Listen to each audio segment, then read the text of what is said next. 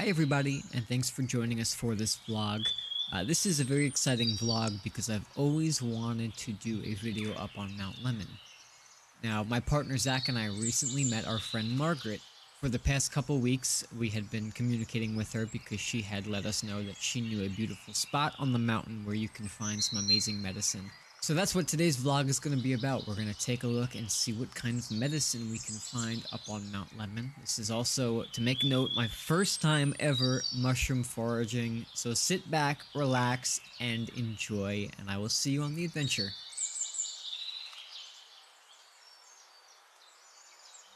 Greetings, everybody, and welcome to Powerful Plant Allies. My name is Jack. I'm up here with my friend Margaret. Hey there. Can you tell them where we are right now? Yeah, so we're right here up on Mount Lemmon, um, almost near the summit, just past Summer Haven here on Turkey Run. So yeah, we're gonna Turkey Run. Turkey Run, Okay. right? Yeah. And we're up here, we're gonna do some foraging. She's been telling me for weeks that she knows this beautiful spot up here, and I've been waiting for somebody to show me the good medicine spots. So Yeah. we're gonna go up here. We got some beautiful columbine right here. We got some fleabane. Already all this medicine around us. So we're gonna go adventure up the trail and we'll get some shots and see what we can find.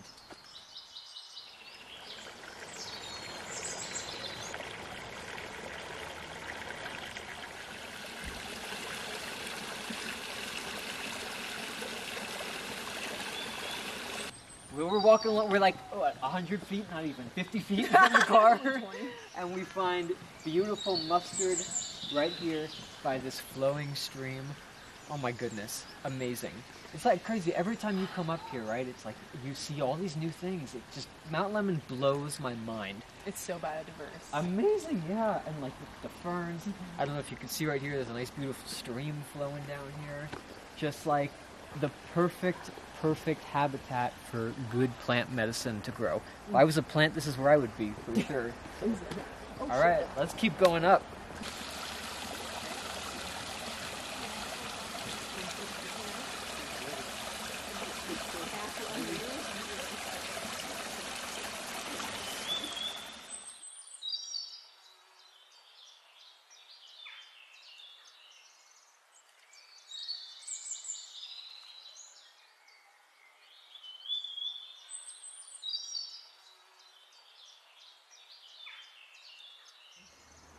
Take a look at what we found.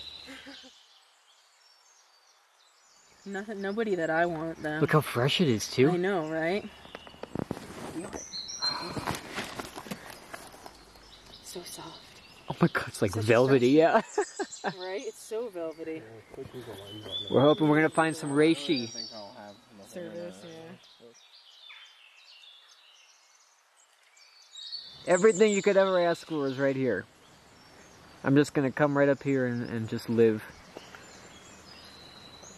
Become the woods bush doctor. Oh yeah, yeah. Yeah.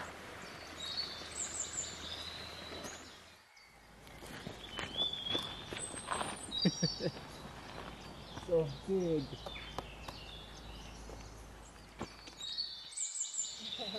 We got some spearmint, some mountain mint growing up here on Mount Lemmon. There's a whole patch of them, as you can see. Right by this beautiful flowing stream. So cool. Sit, cheers, bottoms up. Keeps your breath nice and clean. One of my favorites. Mint, when I grow my gardens and stuff, that is one of my favorite herbs to grow. Just like warms the soul. Good medicine. So we'll have to come up here and make a mint video soon. We had some nice rain come through earlier. Everything's nice and moist. It's about 70 degrees up here in Mount Lemmon. Down in Tucson, it's like 105.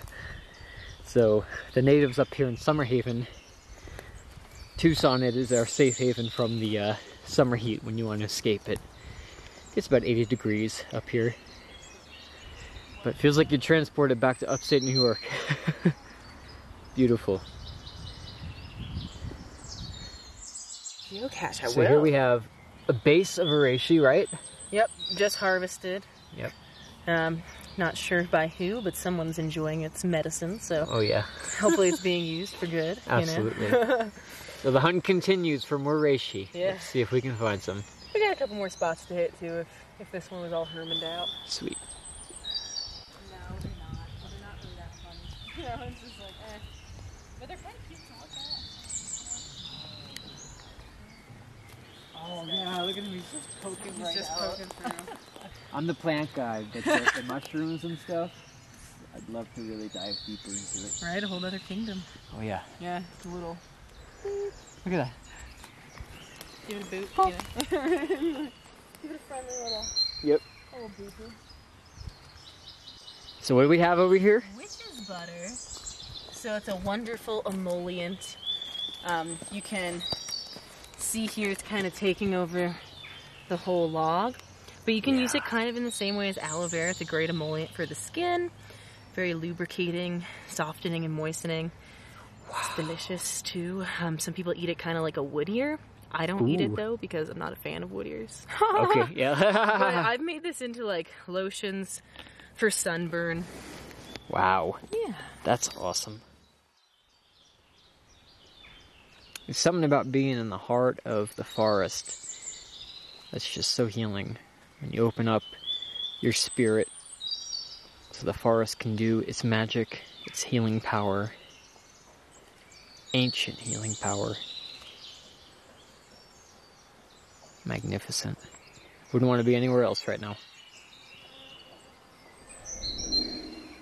Eaten up by the bugs. They Found some more really reishi. the hunt still continues. We got some dried up turkey tail.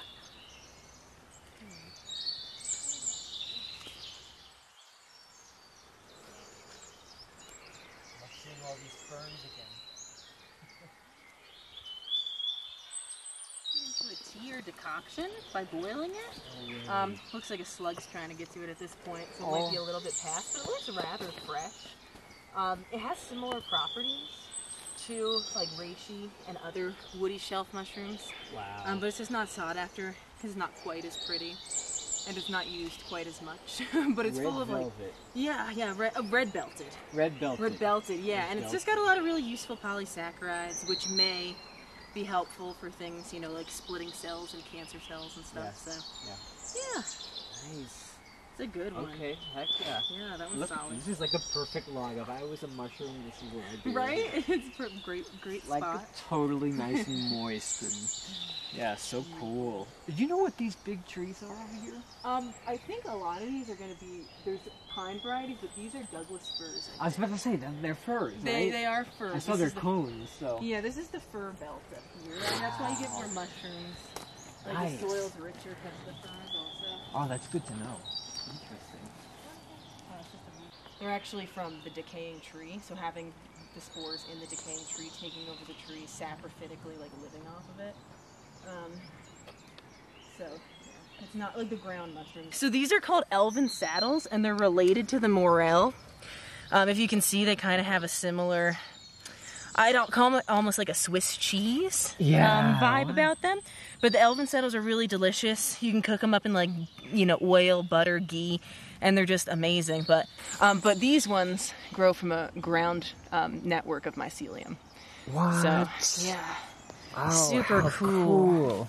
yeah, the elfin saddle, one of my favorites. Can I see one real quick? Yes, certainly. What?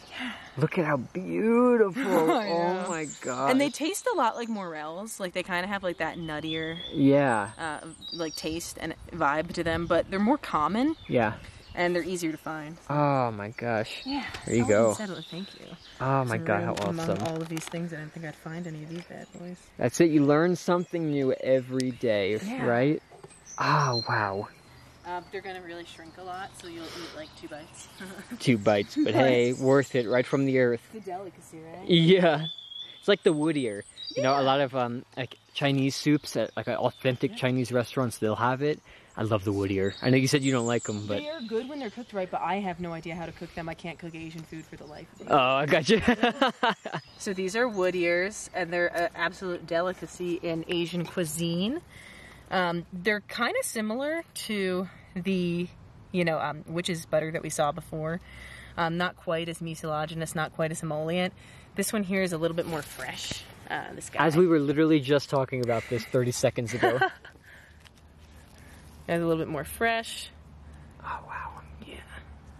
Does it looks like it looks like waxy almost. Yeah, they're like almost jelly-like. But yeah, a lot of people really like them. I, if you're gonna eat them, I prefer to like dry them out Okay. and then use them just because sometimes they have bacteriums, so you don't want to like eat them or cook them fresh. makes sense. Yeah, most of these mushrooms same way. I've always wanted to see them in the wild. Yeah, here they are. Dang. Mm-hmm. Look at that handful of wood ears. Right? Nice. Beautiful. And then we leave some for the Yes, next. Always.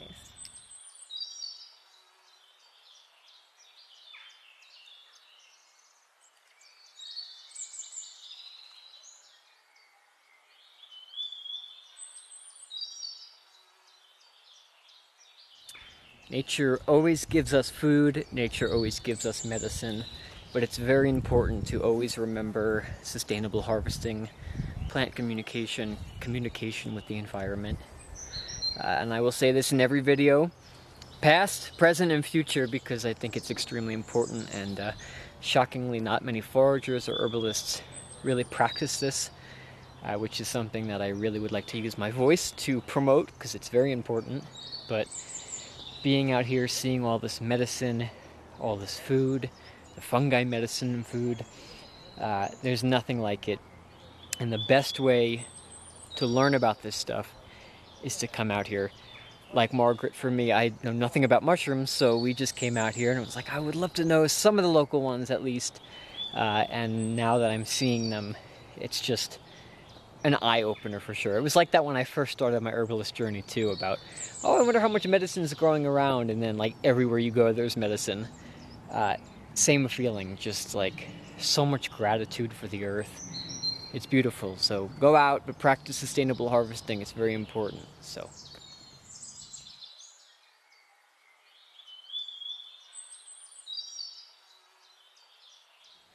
So right now we're heading to another spot that Margaret knows about up at the Mount Lemmon Ski Lodge. So we're gonna drive up there and she thinks we might have some better luck up there. We got some cleavers right here. Yeah, we'll grab some of that mint on the way out. Cleavers. I always wanted to make a cleavers video, so now I have it in abundance up here on Mount Lemmon.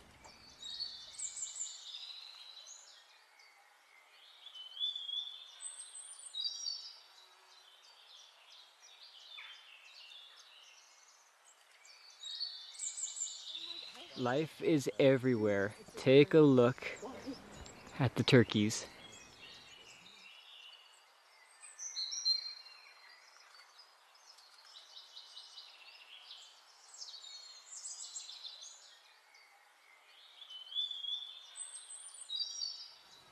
Alright, so we're back over here by the mountain mint, and uh, after sitting with the plant for a minute, uh, we got beautiful validation and some beautiful permission to harvest some of her.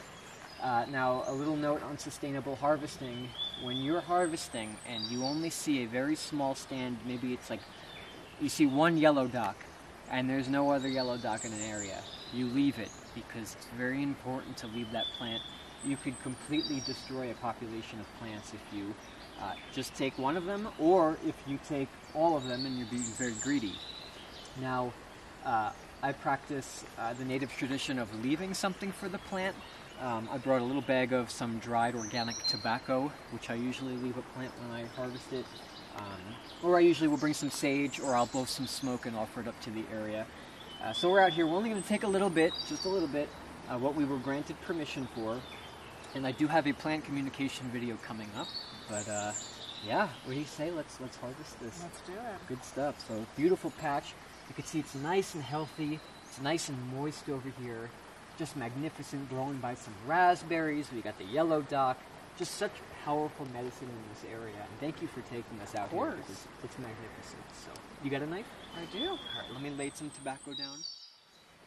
So we got some tobacco right here, and uh, we're just gonna sit down, just sit with the plant for a second in silence, just absorb the area, and just be present with it. So thank you so much for your offering. I'm eternally grateful for your healing. And thank you to this beautiful stand patch. for giving us permission.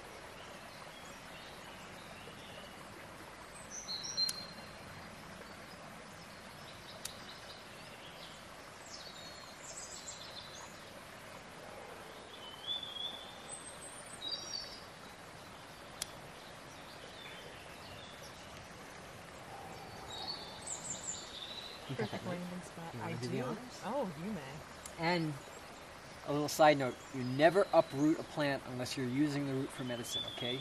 Only take what you need, and you want to cut at the leaf nodes, so then this plant will continue to grow. Cut.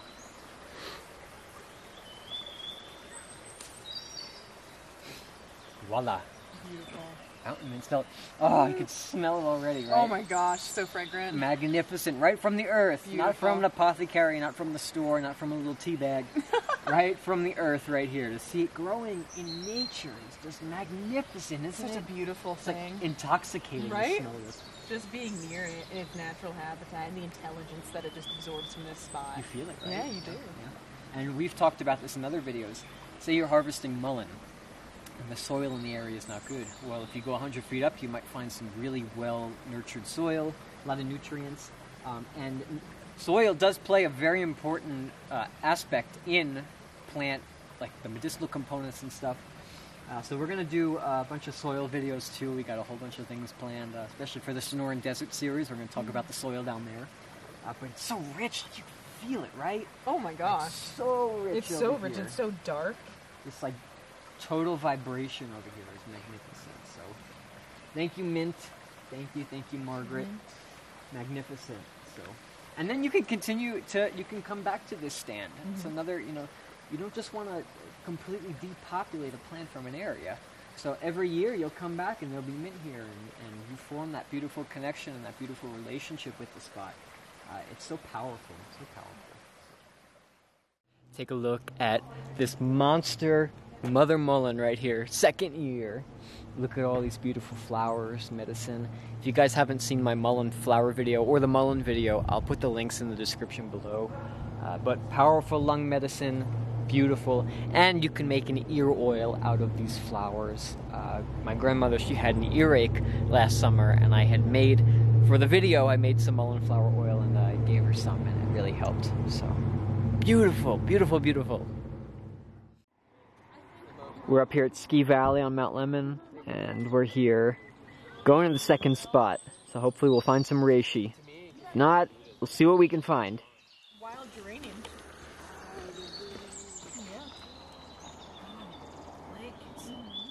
So what do we have here? Uh, this is a coral fungus.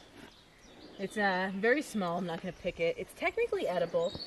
I'm not the biggest fan, but you might be. Nice. But yeah, so it's very fun. It's so good. So we're here, and we came across a nice, beautiful patch of wood sorrel all over the place here. And Margaret here, this is her first time trying it. It's delicious. So, packed with vitamin C, we're gonna have a nice wood sorrel video. Oxalis. Mm. People think it's a clover. It's not. Beautiful. It's a lemony clover of deliciousness. Yeah. Oh yeah. I'm like, what? This is a legit. So we're here, and all I can see all over is just this beautiful patch of violet. And you can see, if you have checked out my Herbs in Your Neighborhood Earth Day special from last year, we did violet, uh, along with a bunch of other herbs on the East Coast, and uh, amazing. It's how just like, love, the love vibration, heart-shaped leaves, and uh, those beautiful blue flowers, right? Oh my god. Magnificent. I've heard some people actually make candy out of them. Yeah, you can Yeah. candy them. I like to make like a honey infusion. Our neighbor she wants to collect some she wants to collect the dye from she does a lot of arts and crafts and stuff. She's like yeah we'll come up here and borrow some. I love it. so they usually flower in the spring and then in the fall again. Now, Margaret took us to this new spot that she believed we would find a reishi at, and we were walking for about an hour or so, uh, and we had no luck. So we were getting ready to turn back when uh, I stood there and I asked nature if at any point right before we turn back, if you could present us with a beautiful reishi just to capture it and possibly harvest from it. Uh, if you could do so, it would be greatly appreciated. And what do you know? A few minutes after asking, look at what happened. Right over there. I watch your step. I told you. I said at the spot we decide to turn around at, we're gonna find some. So this one right here, Oh my god. this is a really cute little specimen. It's growing out of the decayed wood right here, and it's just living its best life. It's actually really fresh. Oh my oh, gosh. So cute. So there's more up here. Like tip your hat to that, right? Right, absolutely. Tip it. and you can see even on this, like, a slug's gotten to this guy, but Oh. this is just some drop decayed wood. And you can see the reishi's just, you know, eating it up. And there's the mycelial mass underneath. Oh my goodness. Yeah, it's crazy. This one might be pretty good still, yeah. This is gorgeous. Like, you see how it's mostly shellac? And it, it hasn't really been too eaten yet. But if you're just gonna want to cut it ever so gently, it takes a little effort. Yeah. Nice clean cut. Yeah, you want to get a nice clean cut, preserving the base. Now, can you freeze these? Yeah, you could freeze them. Um, you most you're gonna have better like drying it out, and then making a tincture with the dried mushroom. Wow. Just cutting off some of the dead pieces for you. I can see. Thank It's you so much. Fresh here. And you can just leave the pieces on the ground. Sometimes it'll even regrow. It'll just spread the mycelium. It's a little. This one. Right there. Yeah, that's beautiful. Oh my gosh. That should be solid. This one's a little gone, but Yeah. it's, it's it's still usable for certain. You just have to cut off some of the schmutzy parts. Just nothing's perfect, right? Nothing is perfect. But yeah, that's beautiful, beautiful reishi. All that good medicine used in Chinese medicine, really frequency, frequently. Yeah. frequency. The Um, frequency of the tree right, gave us this beautiful, beautiful medicine. right? Nutty, I love it. Um, it's uh, known as the mushroom of immortality among uh, Chinese medicine. Makes a really great decoction or tincture. Wow. This is my first time holding a reishi. Gorgeousness. This one's a trickier cut because of the way he's growing. It's up against the tree, yeah. Yeah. Ooh, kind of easier cut though. But yeah, it's kind of fun because you can see there's almost like this barky, toothy layer, Yeah. and then more of the spongy layer. But yeah, it's not something you'd want to eat by any means, but definitely good medicine. Just good medicine. Look at that beautiful, beautiful. And we're gonna tincture this right up. Nothing I love more than smelling a reishi. Like I don't even. I have so much reishi tincture at home.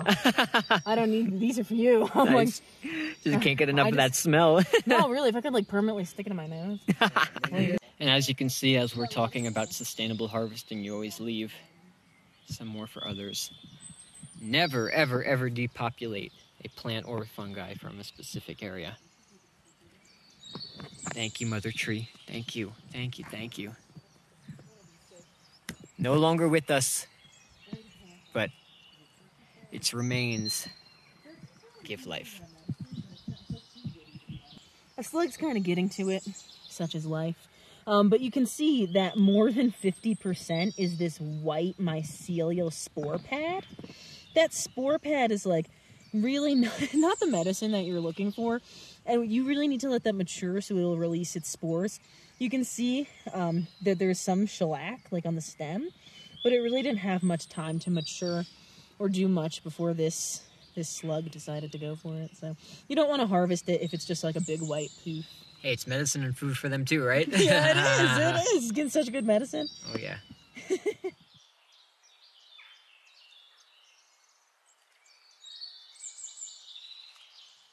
And you can see someone harvested this guy right here.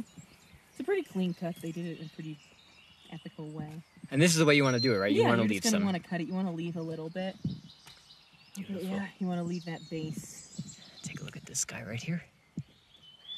A pretty fair harvest because you're only gonna get like a week or two's growth out of this, and then you know like the bugs are just gonna go straight for it. Gotcha. But yeah, this is it's pretty fair to harvest it, but say I don't percentage wise I'd say if it's more than 50% red shellac then you're good to go. But a lot of people harvest it when it's like half and half. Oh wow. And you're just not getting as much good medicine. You're not letting it really like sporulate as much as it could. And here's a good one of one that's turned, right? Oh, yeah. Wow. Yeah, this one was obviously a behemoth. Like, but yeah, this one's actually really nice.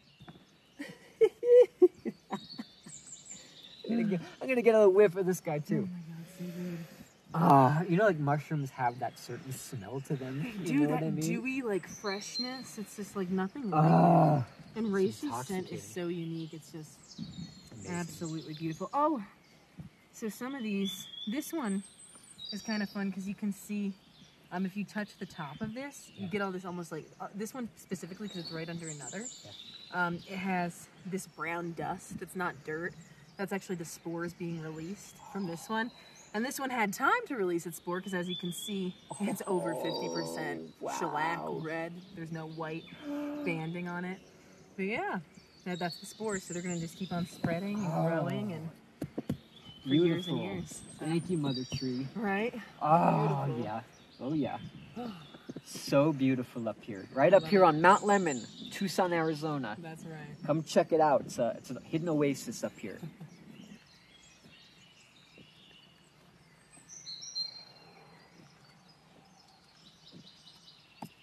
Thank you. Thank you, thank you, thank you. I'm just gonna leave some dried Carry a little medicine patch of some, uh, some dried herb, tobacco, whatever you'd like to offer. It doesn't matter. It doesn't need to be tobacco.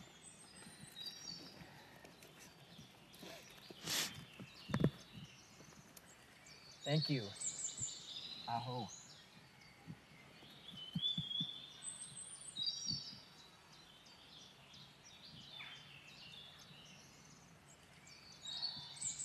Very emotional experience when you uh, connect with nature like this.